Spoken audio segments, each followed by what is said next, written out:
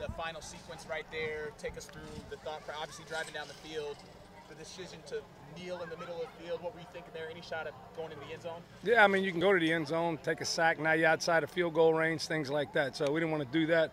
Felt good about our kicker. Jonathan does a good job. He's had a good camp. Uh, never thought twice about it. The whole staff, we said, let's get to the middle, let's kick it, and tie it up, go to overtime. We felt comfortable about us playing in overtime. Coach, talk about Chason Virgil's performance tonight. Four touchdowns in his debut. Yeah, I mean, you know, he did some good things. I think he's he showed in camp that uh, he needs to be out there on the field, and that's a positive thing. You know, some couple of unfortunate plays for us, but uh, you know, we got to grow from this. We got to build on what we got.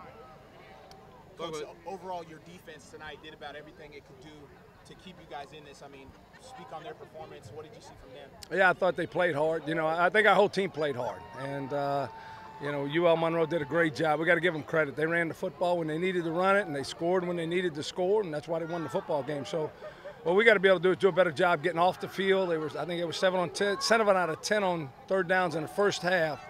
So that kept us on the field a little bit longer than we should have. We had a lot of uh, a lot of snaps tonight defensively, but they fought, man. So yeah, you can't say more than that for them.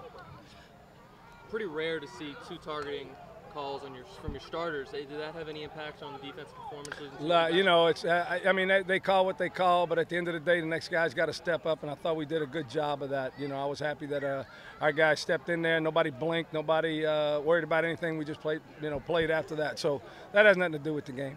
Coach, I know uh, going into the year you talked a lot about getting Juwan Petit Frere more involved offensively. Certainly had a big game, over 140 yards receiving and two touchdowns. Talk about him and what he brings to the offense. Well, you know, I, I think it's it's Juwan. He did a good job this spring, but this summer he really did a nice job developing Allen. He's uh, he's becoming a good receiver, route running, understanding coverages, understanding positioning on the field, and then catching the football. And we know what he can do with the ball in his hands, but we just had to all those things lead up to it. So uh, he had a good a good game tonight, but we got to build on that. It's going to have to be better next week. This obviously stings a little bit emotionally, a lot emotionally. What was your message to the guys right there in the locker room? Well, we didn't get the outcome that we wanted, but we're not an outcome-based team. We want to win. I mean, I, we don't make any bones about that. But how we play next week and how we play the week after, we want to continue to improve this season and stack up good play, good play offensively, defensively, and special teams. So uh, we want to make sure that that we're not satisfied with what happened because we're not. We didn't win the football game, but we did do some good things, and we're not going to overlook that. What'd you learn about your team tonight?